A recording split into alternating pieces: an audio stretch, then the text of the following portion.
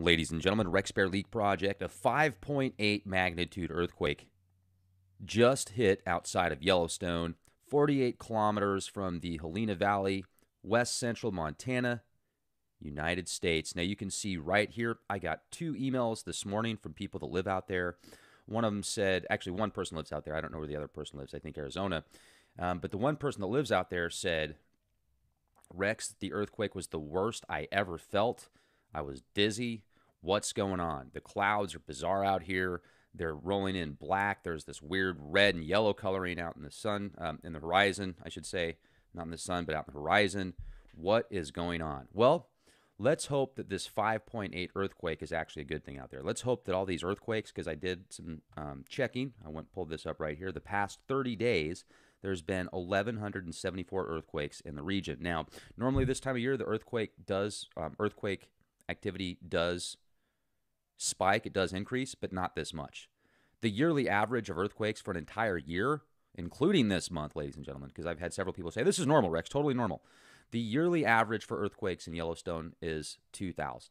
They say 1 to 3,000 is the yearly average. So let's average that out. 2,000 is the yearly average. We've hit over 1,100 quakes in 30 days.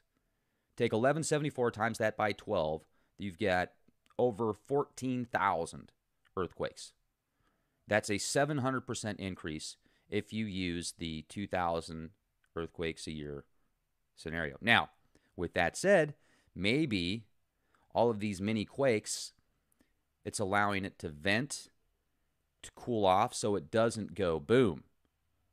Now, when you do have people saying that they've lived out there their whole lives and a 5.8 quake is the is the most intense they've ever felt, well that de- definitely makes me more it would make me more aware and more prepared for a situation in that area to get the heck out of Dodge if I needed to. If I start seeing animals leave Yellowstone, that's when I know it's time to go. Because animals seem to be in that psychic no, into that whatever that vibrational frequency is that they can tap into. Keep an eye on the animals. Now, Lincoln, Montana, power was actually lost out there because the earthquake was so intense. And elevation out there, it's about 4,500 feet, about 1,100 people. And it's not a very big area. And that size of an earthquake is quite the anomaly. Now, I pulled up the map right here just so you can see for yourself that you're only, and that's if you're taking all these turns and stuff like that, you're less than 250 miles if you were to take a straight path there. It's less than 250 miles away. Uh, we'll go back over here and look at all the activity in the area 1,174 earthquakes in the past 30 days. Let's take a look at this right here. So you can see you've got the interactive map, the regional information if you go to usgs.gov, the earthquake.usgs.gov, the shake map. This is a pretty neat website right here. So the July 6th 5.8 quake, according to this website, occurred as the result of shallow strike slip faulting along either a right lateral near vertical fault trending east southeast or on a left lateral vertical fault striking north northwest northeast. I'm sorry. Nanu Nanu.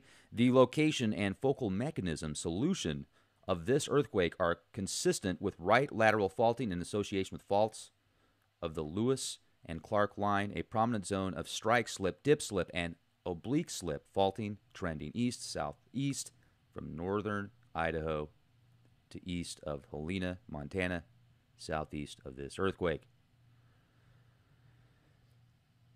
It's a broad zone of faulting about 400 kilometers in length, up to 80 kilometers wide. wow. Quite incredible. So there you have it a 5.8 quake in Yellowstone. You guys should pick up one of these quick bivvies. Click the link in my video description box. Everybody should seriously have one of these quick bivvies.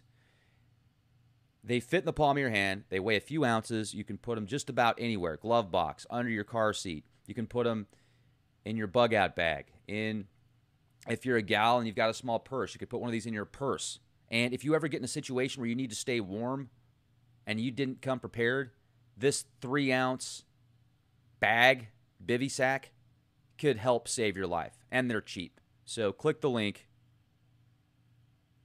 Be excellent to each other. Be the change you want to see. LeakProject.com. Ladies and gentlemen, Rex Bear Leak Project, a 5.8 magnitude earthquake just hit outside of Yellowstone, 48 kilometers from the Helena Valley, west central Montana, United States. Now you can see right here, I got two emails this morning from people that live out there. One of them said, actually, one person lives out there. I don't know where the other person lives. I think Arizona. Um, but the one person that lives out there said, Rex, the earthquake was the worst I ever felt. I was dizzy. What's going on? The clouds are bizarre out here. They're rolling in black. There's this weird red and yellow coloring out in the sun, um, in the horizon, I should say. Not in the sun, but out in the horizon. What is going on? Well, let's hope that this 5.8 earthquake is actually a good thing out there. Let's hope that all these earthquakes, because I did some um, checking, I went pulled this up right here. The past 30 days, there's been 1,174 earthquakes in the region. Now, normally this time of year, the earthquake does um, earthquake activity does spike, it does increase, but not this much. The yearly average of earthquakes for an entire year, including this month, ladies and gentlemen, because I've had several people say this is normal, Rex, totally normal. The yearly average for earthquakes in Yellowstone is 2,000. They say 1 to 3,000 is the yearly average. So let's average that out. 2,000 is the yearly average. We've hit over 1,100 quakes in 30 days. Take 1174 times that by 12, you've got over 14,000 earthquakes. That's a 700% increase if you use the 2,000 earthquakes a year scenario. Now, with that said, maybe all of these mini quakes, it's allowing it to vent, to cool off so it doesn't go boom. Now, when you do have people saying that they've lived out there their whole lives and a 5.8 quake is the is the most intense they've ever felt, well, that de- definitely makes me more. It would make me more aware and more prepared for a situation in that area to get the heck out of Dodge if I needed to. If I start seeing animals leave Yellowstone, that's when I know it's time to go. Because animals seem to be in that psychic no, into that whatever that vibrational frequency is that they can tap into. Keep an eye on the animals. Now, Lincoln, Montana, power was actually lost out there because the earthquake was so intense. And elevation out there, it's about 4,500 feet, about 1,100 people. And it's not a very big area. And that size of an earthquake is quite the anomaly. Now, I pulled up the map right here just so you can see for yourself that you're only, and that's if you're taking all these turns and stuff like that, you're less than 250 miles. If you were to take a straight path there, it's less than 250 miles away. Uh, we'll go back over here and look at all the activity in the area 1,174 earthquakes in the past 30 days. Let's take a look at this right here.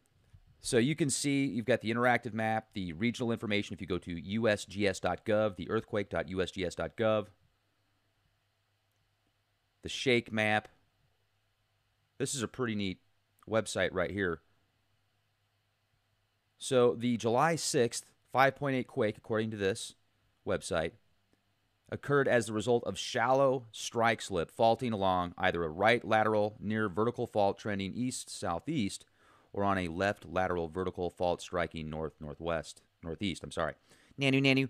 The location and focal mechanism solution of this earthquake are consistent with right lateral faulting in association with faults of the Lewis and Clark line, a prominent zone of strike slip, dip slip, and oblique slip faulting trending east southeast from northern Idaho to east of Helena, Montana, southeast of this earthquake. It's a broad zone of faulting about 400 kilometers in length, up to 80 kilometers wide. wow. Quite incredible. So there you have it a 5.8 quake in Yellowstone. You guys should pick up one of these quick bivvies. Click the link in my video description box. Everybody should seriously have one of these quick bivvies. They fit in the palm of your hand. They weigh a few ounces. You can put them just about anywhere glove box, under your car seat. You can put them in your bug out bag. In if you're a gal and you've got a small purse, you could put one of these in your purse. And if you ever get in a situation where you need to stay warm and you didn't come prepared, this three ounce bag, bivy sack, could help save your life. And they're cheap. So click the link. Be excellent to each other. Be the change you want to see. LeakProject.com.